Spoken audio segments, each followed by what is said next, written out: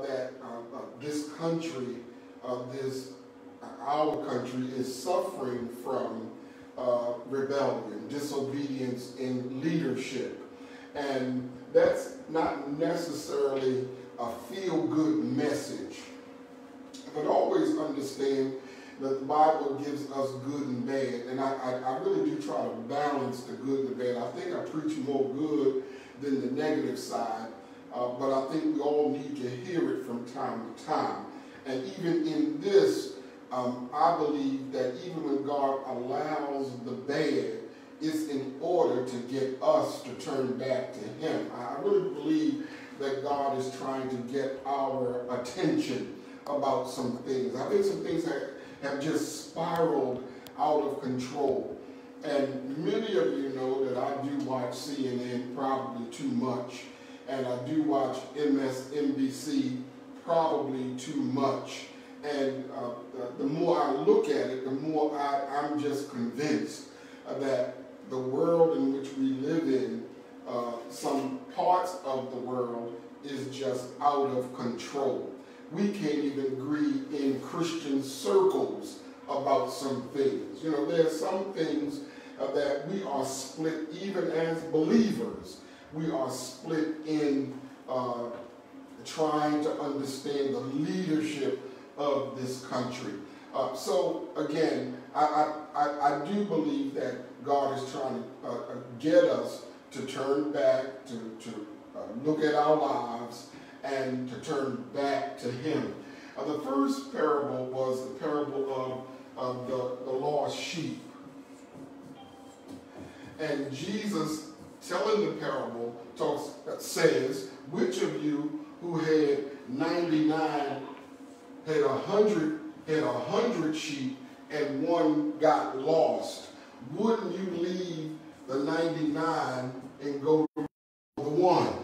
Uh, uh, and uh, he knew uh, that it was the practice of shepherds uh, that the sheep were so precious to them that they didn't even want to lose one. And it should be, it is the nature of God that he doesn't want anybody to perish and to go to hell. Uh, the will of God is that all would come to repentance, that all would come to repentance and be saved. That's the will of God.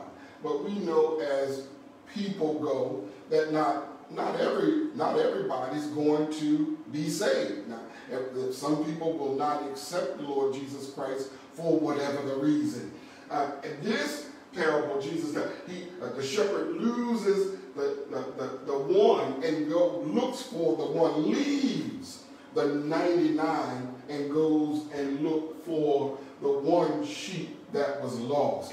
It was also the practice of the shepherd that even if the sheep died, he had to bring back the skin of the sheep in order to determine how the sheep died, what killed the sheep that shepherd left the 99, went after the one, searching for that one.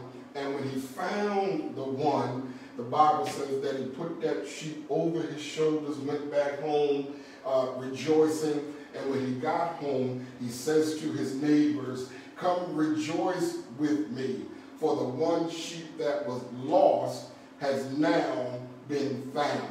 And look at how the Lord ends that parable in verse 7.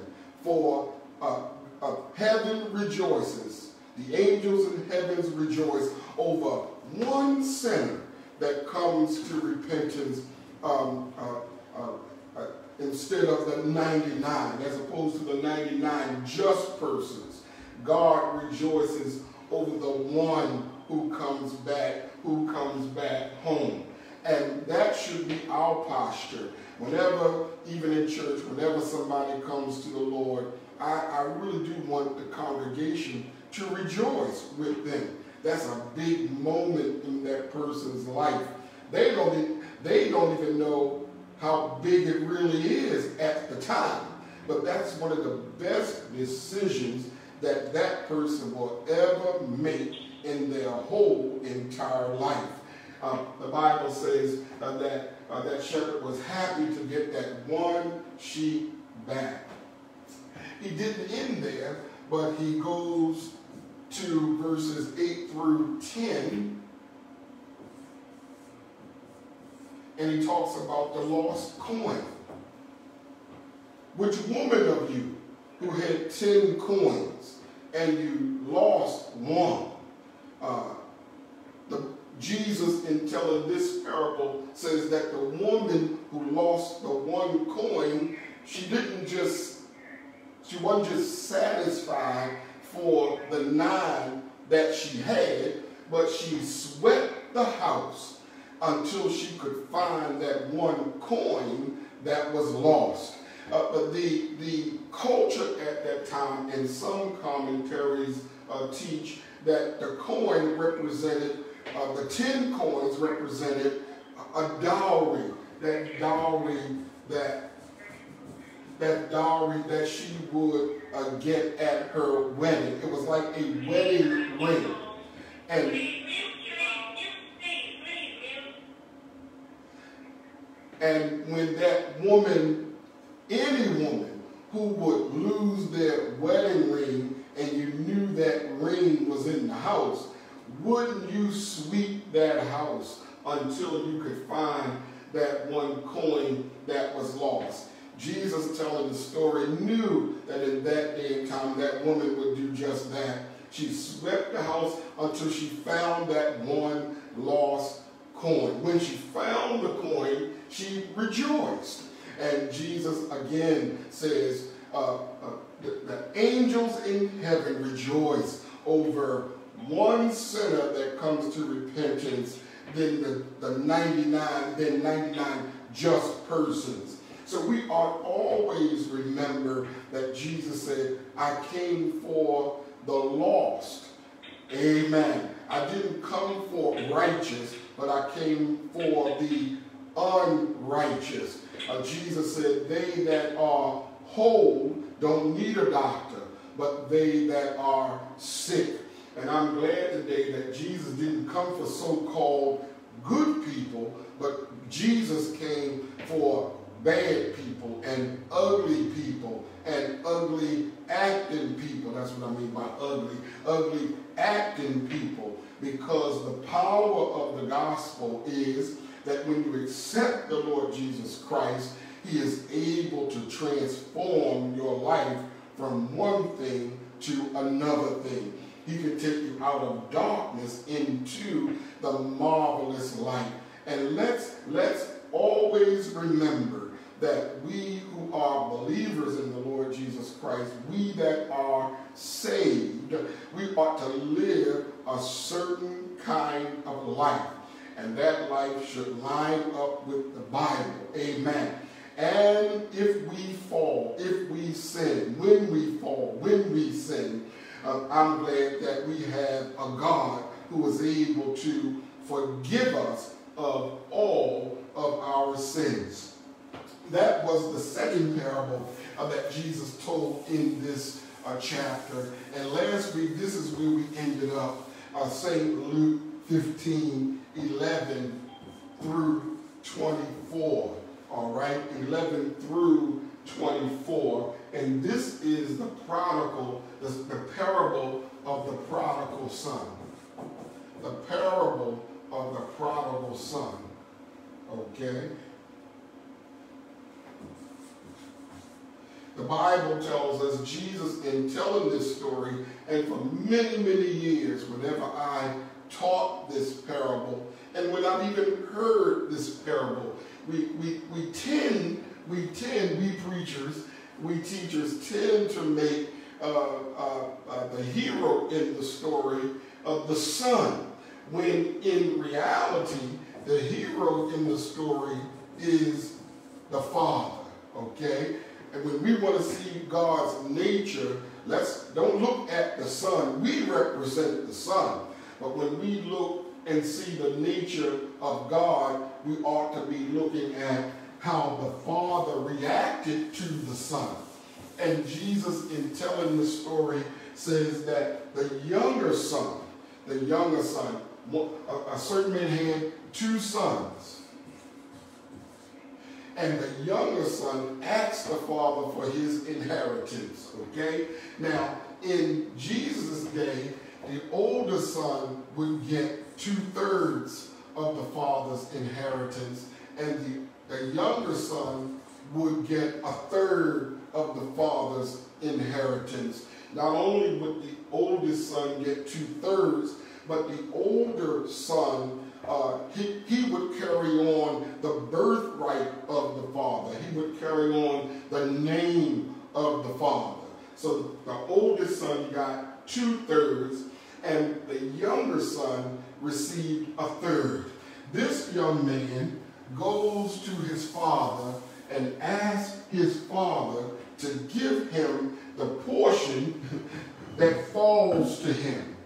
What a nerve, okay? The boy who had not earned anything, now he's coming to his father and saying to his father, give me the portion that falleth to me. In that culture, that was really disrespectful to the father. And if one of your children would come to you and say to you, well, I want you to give me uh, what, what you're going to give me now.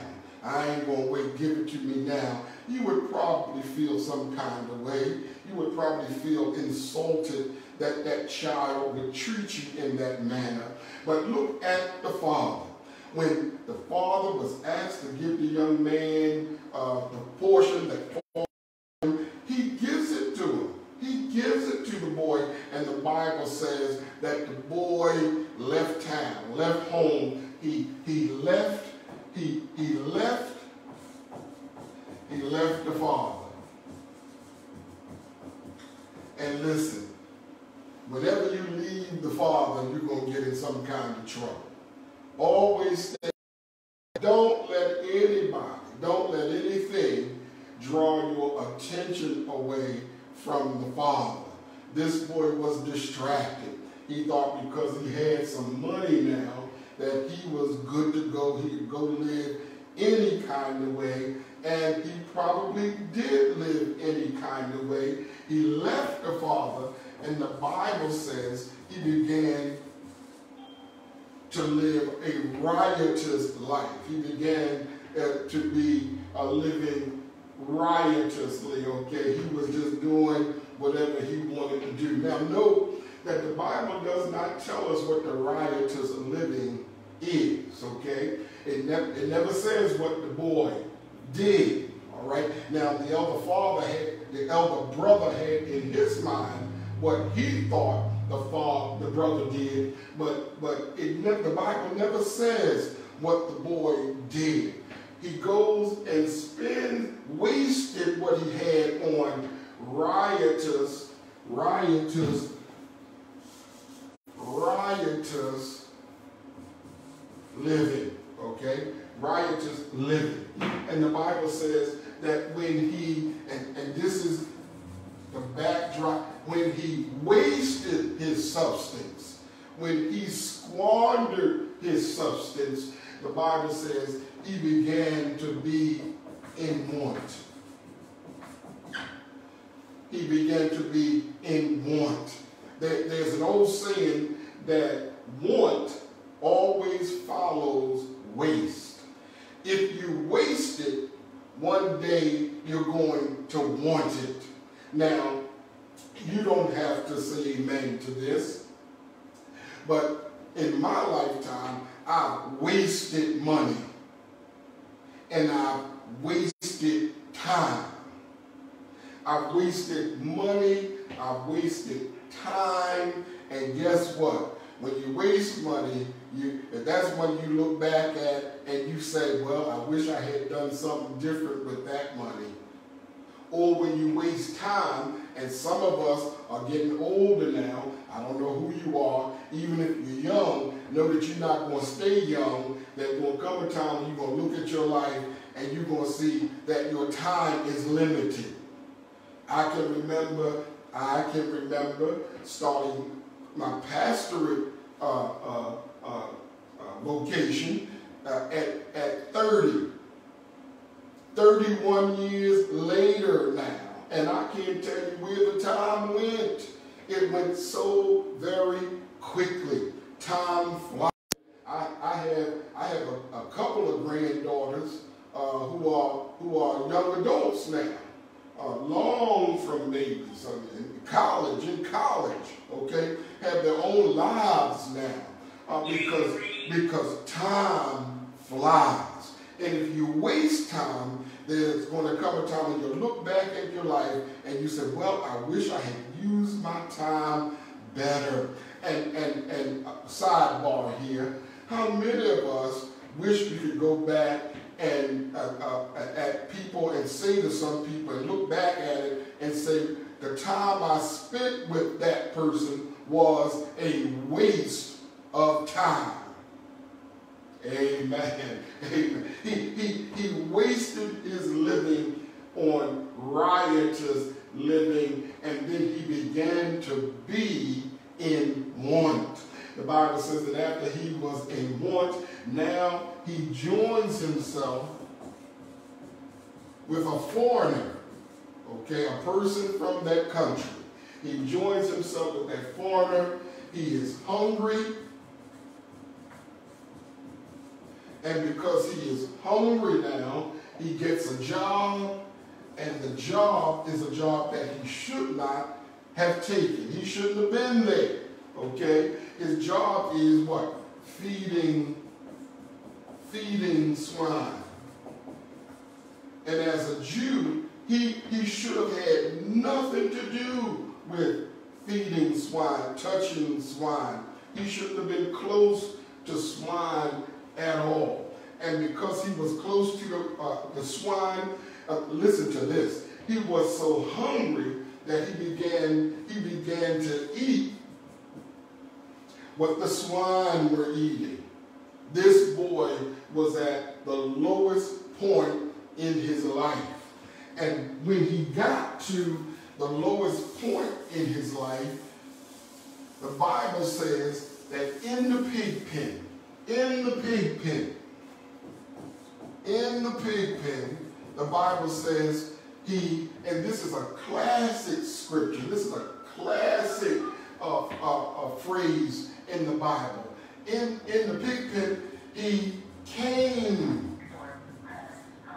He, he came to himself. All right? He came to himself. Now, the thing that I'm, one of the things that I'm most grateful for is that God allows U-turns. Y'all have heard that term before. That's not a new saying. You've heard that saying before, that God allows U-turns. At any point, and, and, and I want us to really get a hold of this. At any point in your life, you can turn it around. I don't care how far you think you are out there. I don't care how bad it is. At any point in your life, you can make a U-turn. You can turn back to God. And while people might not let you back, God will always let you back. All God wants is for you to do what? You need to come to yourself. I believe that sometimes God lets us hit rock bottom in order for, in order for us to discover that we really do need God. What we thought we needed, we don't need. And there are some things we thought we needed. There are some people we thought we needed. But God will let you have some things. He'll let you have some people only for you to find out that they weren't all that they were cracked up to be. And God will get, put you in a position where you will have to do what? You will have to come to yourself. And I believe that, that I believe that's what God is saying to the nation. I believe that's what God is saying to you and I. I believe God is saying all he wants us to do is to come to ourselves. Now maybe you maybe you've never gone anywhere, you've never done anything, and maybe you just as pure as a driven snow, you've never done anything that you're embarrassed about, uh, guilty, feel guilty about, feel ashamed of. But some of us have been there, that we've done some things, we've been some places, that we should not have gone and we should not have done. But I'm glad that no matter how far down we go, God will allow us to turn around and come back to you. The U-turn is with this these parables is all about in the first place. The U-turn is about repentance. It's about saying, God, I'm sorry, I'm wrong. It's about, and, and, and we, we, should, we should never forget that re repentance is a change, is a change of mind. It means I've changed my mind. That, that I used to think this, but now I change my mind. And God allows us to change our minds. And when you change your mind, God accepts you back. Thank, thank God, God accepts you back. You know, some, some relationships we are in, were in, some relationships could be restored if we would just go back to the person and let them know, one, we're sorry for what happened, and two, you were right. I was wrong. Because now you what? You came to yourself. Okay? Now, now I'm a grown man, and there are some there are some things my mother and father told me, advised me, that I wish I had listened. And when I did not listen, I paid the cost. I paid the price. But all we have to do when it comes to God is to have a change of mind, a change of heart. If we repent, God will receive us back. And the other, the other great part, and we're going to see this in the rest of this story, uh, that when the boy came to himself, not only will God receive you back, but God will, and this, you need to write this down, he, he will restore you. He will restore you. What you thought it was too late for God to do, God can still make that happen in your life. If you only repent, God will put you back in that place where you belonged in the first place. If we would only come to ourselves and repent. Now, it's really in my mind, I'm going to move on in this parable, but it's really in my mind when we talk about repentance, what's really in my mind, in the back of my mind, and God keeps speaking it to me, is that when we uh, repent and God restore, He He restores us, okay? He will He will treat you. He will treat you like you never did it. He will treat you like you never did it. Now, ain't that a great thing?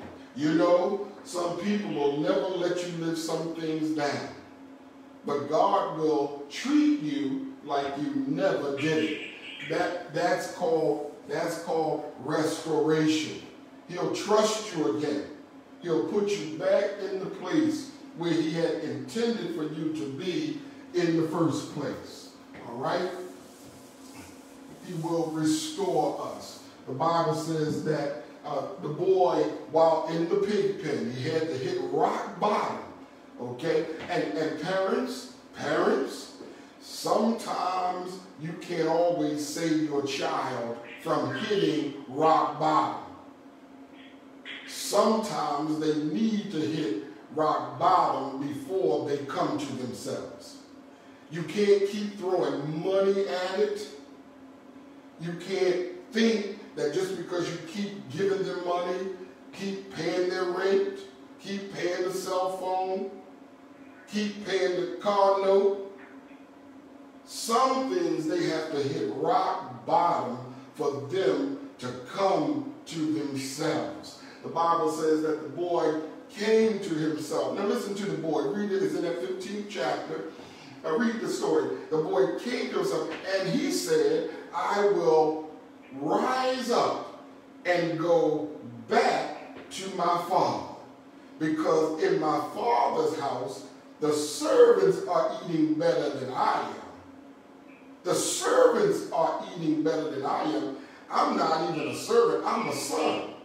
But the servants are eating better than I am. I will rise up.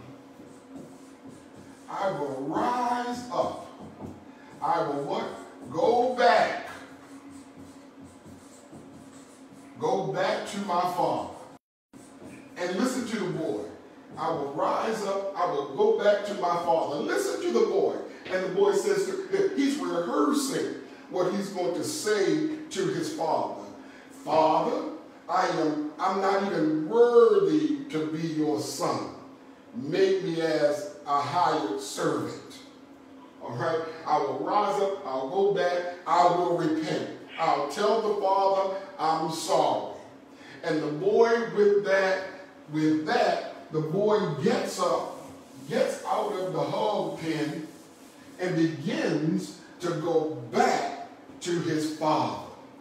The Bible says, and this is one of the, this, this is one of the most beautiful stories in the Bible. That when the boy comes back, now we don't know what the father was doing. We don't know if he was in the house or if he was in the field. It doesn't say what the father was doing. But somehow, when the boy came back home, the father saw him and look, look, look at Jesus telling the story. The, uh, Jesus, the father, saw him a, a far off. He wasn't even close. But when the boy went home, the father saw him afar off. He wasn't close to the house, but the father knew his son. And those of us who are parents, you, you know, you know your children. You know their walk. You can tell their walk. They can be a distance, but you can tell it's them how they walk. When people in a crowd, if you're in a crowd, and, and your child calls your name, you know, you know the voice of your child. This father, I believe, it doesn't say it's a parable, it's a story, but if we would put it to life, this father probably was looking for the son. Every day he was hoping that the son would come back home. And I believe it's that way with God. No matter how far we get from God, I believe that God is always looking for us to come back home. He never lets us go. The Bible says, and this is a great promise in the Bible, the Bible says that God will never leave us nor forsake us. And if you would look at that verse in another version of the Bible, it's translated, God will never, no, never leave us. It's, it's a double negative. God will never leave us, no, never leave us or forsake us. You can't outrun God. No matter how far you go, I believe that God still works on us. I don't care where you find yourself. I believe that God is still talking to us. God, I know that from experience, that God keeps talking to us. He keeps warning us to come back home. The Bible says that the Father saw him afar off and ran. He ran to the boy. He ran to his son. He hugged him. He hugged him and kissed him.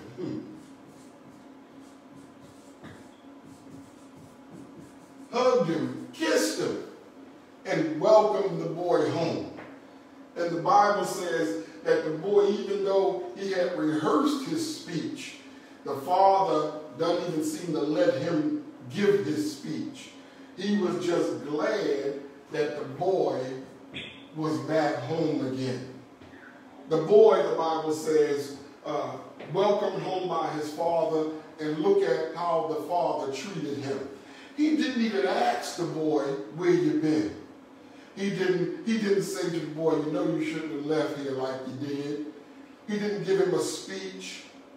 He didn't beat him down. He was just glad that his son was back home. And any parent, you know, any parent, any mother, any father, you, when you love your child, it doesn't matter what they do and where they go. You just love your child. Good, bad, or indifferent. You love your child. When they do good, you love them. When they do bad, you love them. Because that's your child. And sometimes, sometimes they are not always what we want them to be. But they are still our child. And we still love our children no matter what. I, I tend to believe that God's love for us, the way I understand it as a father, that God's love for us is like a, a parent's a love for their child.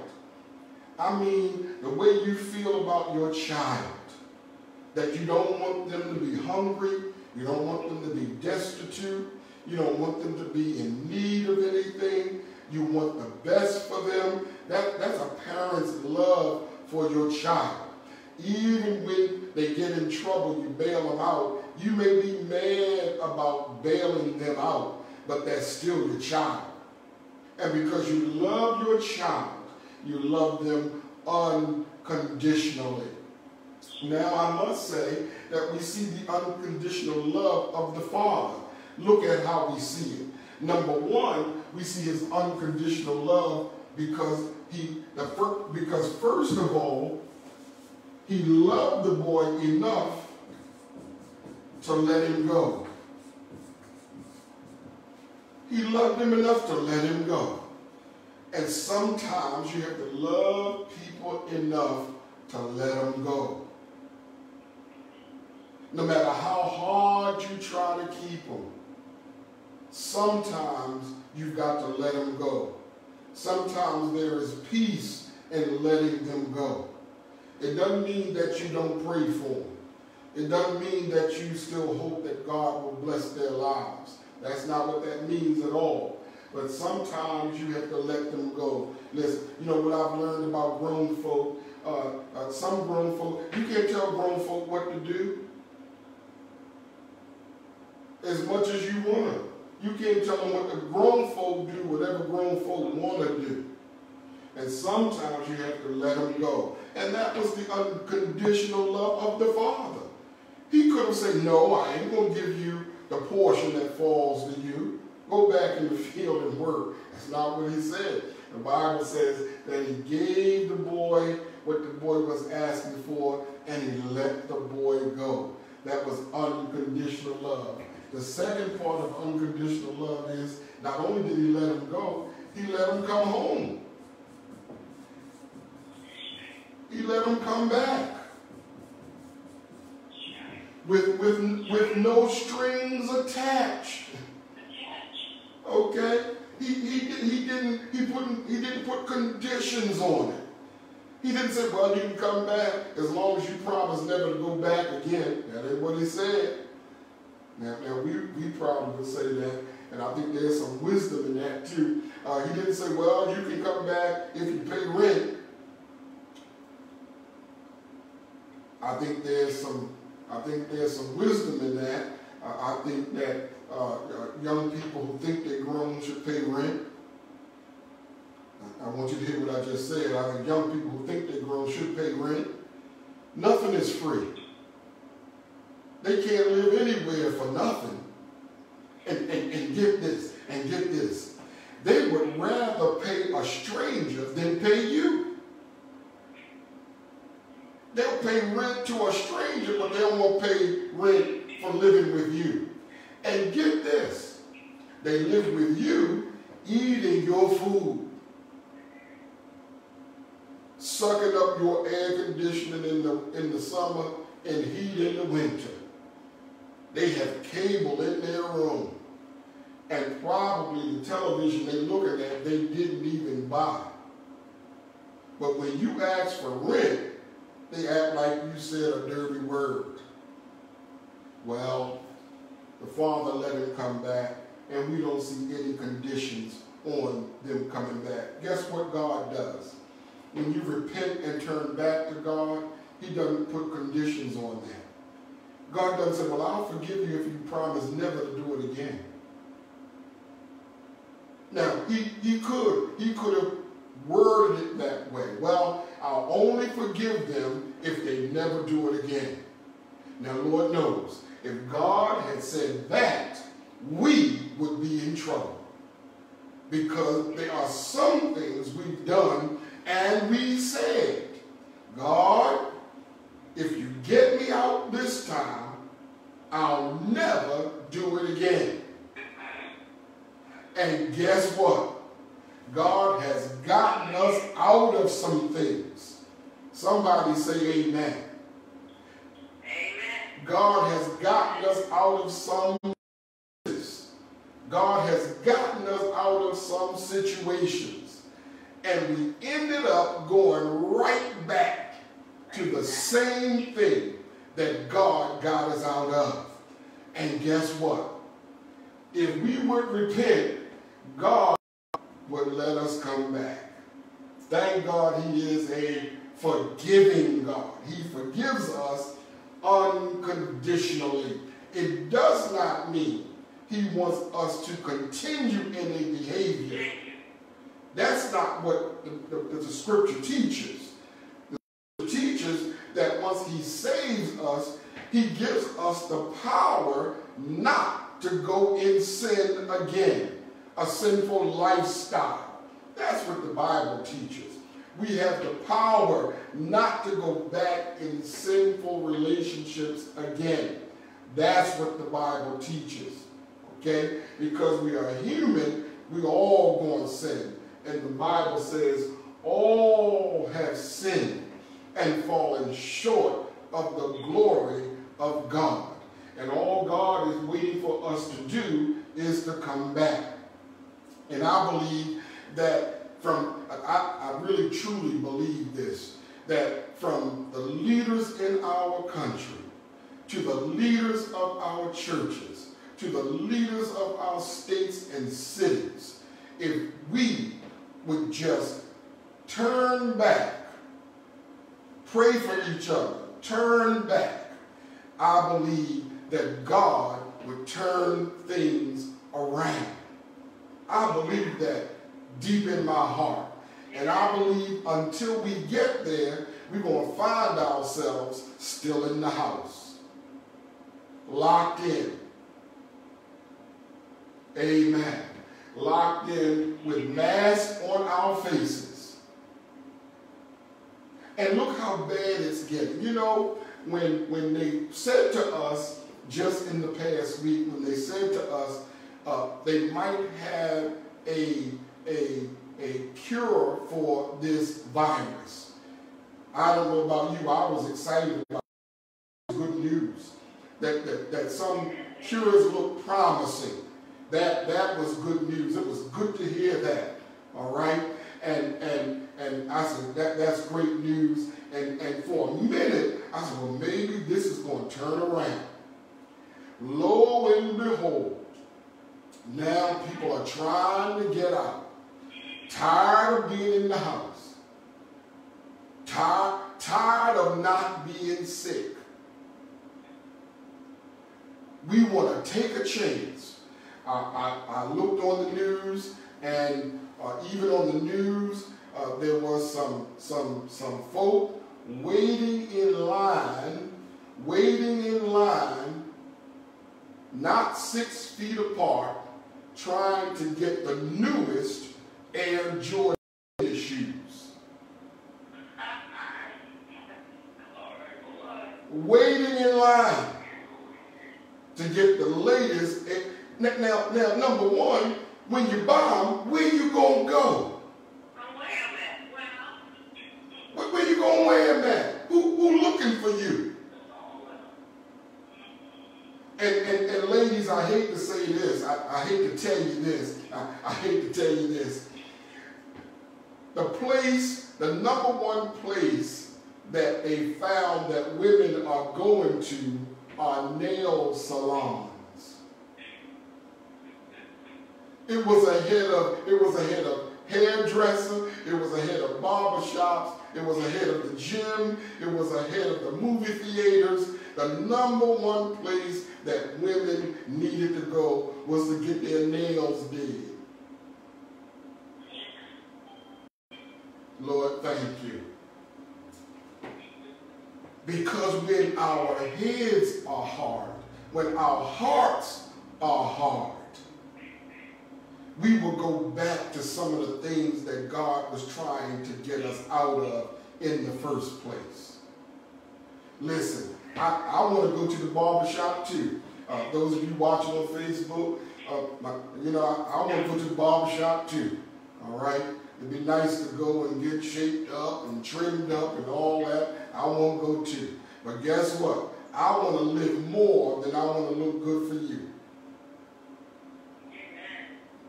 Because I'm telling you, uh, what y'all going to do? Y'all going to look at uh, y'all going to look in the casket and say Lisa's head is shaped up.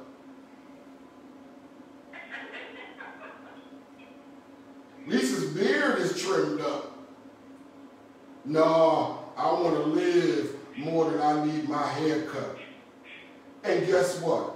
Because I want you to live, I'm not going to go out there and make it unsafe for you. We, we need to protect each other. And I believe that God is really trying to get our attention. And when I saw the news of people tired of staying in the house, on the beaches, in the sand, in the water, tired of staying in the house, I said to myself, and now the leaders are bending, are giving in to what the people want. You know who got in trouble because they did what the people wanted? Saul. The Bible says King Saul was pressured by the people when he was confronted with the army. And he says to Samuel, I was looking at the people. And we are in a time when we can't take cues from people we have to take our lead from our God. And we have to do it God's way. Because God's way is still the best way. Bible says that the boy came home, the father let him come back home, but the father didn't leave it at that. The, the father, the, the father put a, he put a robe on the boy. He put a robe on the boy. And the robe, the robe stands for royalty. He put a robe on him. The robe stands for royalty. He put a ring on the boy's finger. The ring stands for authority. Gave the boy his authority back again. Put a robe for royalty. Put a ring for authority. And the last thing that the father did for this boy is he put shoes on his feet. He put shoes on his feet. Only slaves didn't have shoes. Only slaves were barefooted. And the father to put shoes on the boy's feet. He was saying to the boy, you are not a servant, you are not a slave, but you are, you are a son. And if you don't hear anything else I say today, I want you to really get in your mind that God wants you to be royalty. He has given you authority, and you are a son. You are a daughter. For as many as received him, to them gave he power, authority authority to become the sons of God, even to them that believe on his name. I believe that St. John 1 and 12. For as many as received him, to them gave he power to become the sons of God, even to them that believe on his name. Let, let me say this. Let me say this too. Listen. You have authority you have authority over the devil. The devil can't make you. He broke the power of sin over our lives. Okay? Those of you who are listening, listening, I'm writing. That's why you hear the hesitation. I'm writing some things on the board for our Facebook watchers, okay? He, God broke the power of sin over our lives. That means, that means that the devil can present it, but I can say no to whatever the devil presents to me. He has given me the power to say no. Uh, flee from sin. Draw nigh to God, and God will draw nigh to you. Resist the devil, and he shall flee from you. He doesn't have that kind of control over you any longer. Because when you accepted Jesus, the power of sin was broken over your life. You can say yes to God. This is important. You can say yes to God. Now you have the authority, uh, the authority to say yes to God and no to the devil. All right? You have been given that authority. And listen, what you don't want to do is give away your authority. Don't let him take that from you. Don't let him think he can do anything to you that he wants. You know, early in my salvation, I really did think the devil could do anything that he wanted to do to the believer early in my salvation. I thought he could just do whatever he wanted to do to, to the believer. Well, that's not true. That's not true. Number one, I have authority to say yes to God, no to sin. But, but here is the second part of this. If God allows the devil to do something in my life, if listen to this, if if God allows the devil to do something in my life, if he allows it, it means that God's going to give me the power stand to withstand whatever he brings. Because there is the permissive will of God. The permissive will of God. And, and all, all that's really saying is there are some things God will permit to happen. But before he permits it, guess what? the devil has to ask God for permission. And if God gives him permission, it only means, and this is this is the great news. It only means that God is set, setting you up for something greater in your life. Don't, don't see it as a negative. Many times when something bad happens, I'm included in that whenever something bad would happen, I would always say to God, well, Lord, I don't know why you let that happen to me. When in reality, God knows what he's doing. And if God lets something happen in my life, it only means he, has, he is setting me up for something better to happen in my life. And that's why, now I know, now I know this sounds a little bit crazy. This doesn't make any sense at all. That's why, that's why I always know that whenever the devil shows up in your life, God is up to something in your life. Because the only thing the devil can do is sell wolf tickets.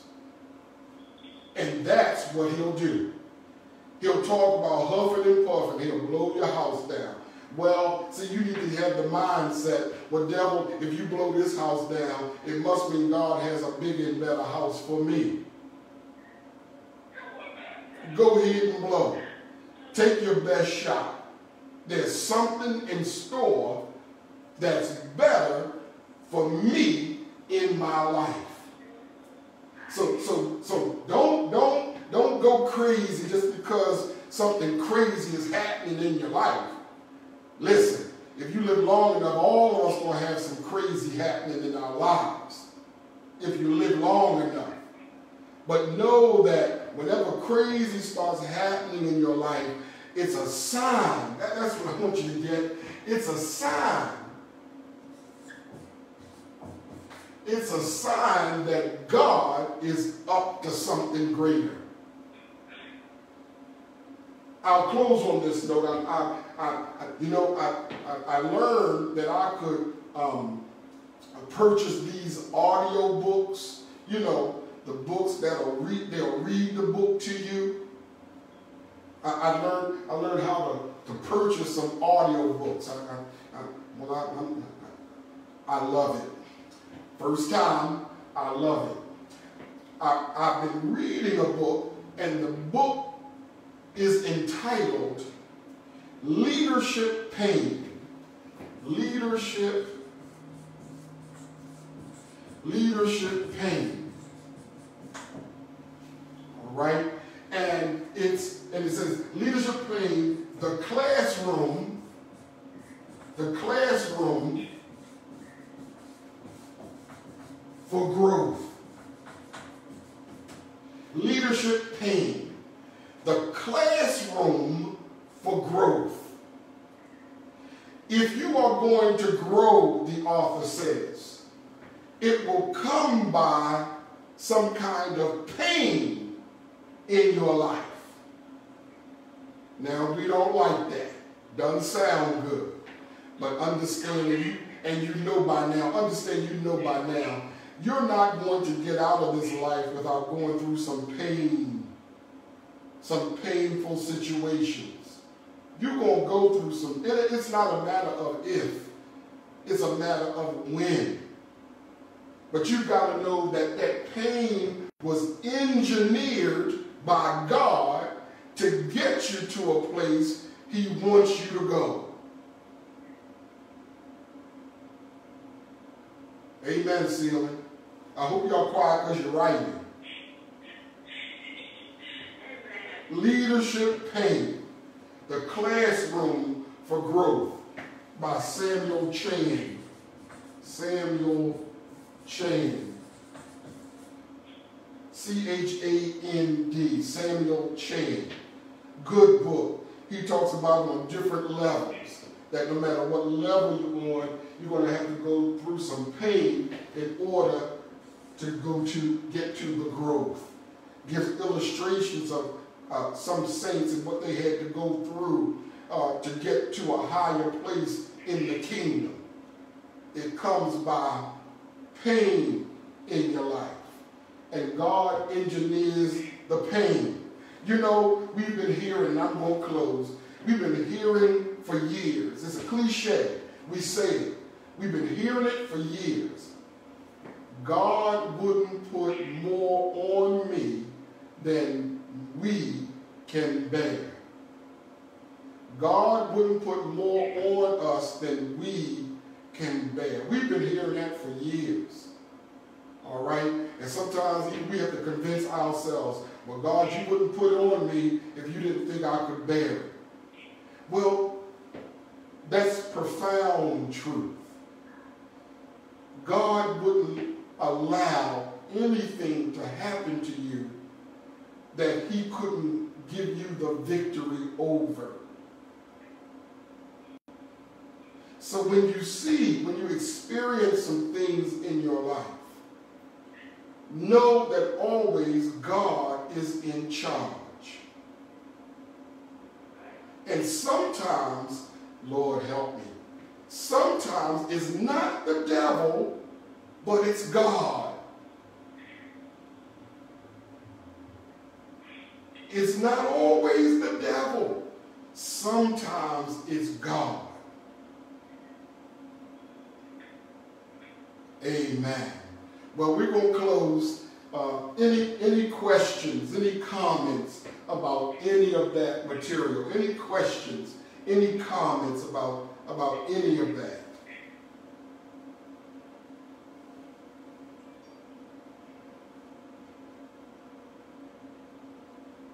All right, okay.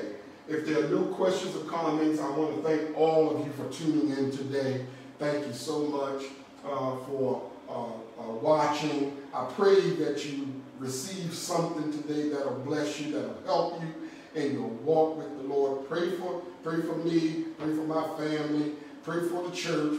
I'm praying for churches all over the land. I hear uh, members on the church uh, on the call who uh, former now members, that's what I'm going to call you, former now members. And I, I is glad to hear from you, glad to see you. And uh, pray for, let's pray for each other. Pray for our country. Pray for the leaders of our country. We, we need to be in prayer. It's, it's, it's rough. It's a rough time right now. And I don't believe God's going to turn it around until the leaders in this country repent and turn back to him. Any, any prayer concerns? Any prayer concerns?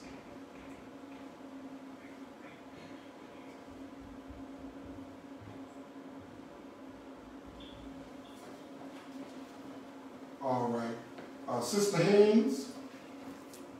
Yes, sir. Will you, will you close us out in prayer, please?